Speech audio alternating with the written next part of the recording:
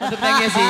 Untuk yang punya sedap malam juga nih, Bu Ecin sejenak tentunya ya. Yang pasti satu persatu kita akan coba. Oke siap. Keluarga besar yang minta kurat bumi sekaligus pengantin juga naik kayaknya nih. Iya. Boleh. Yang di samping kanan kita juga di pinggir jalan hati-hati saja semuanya ya.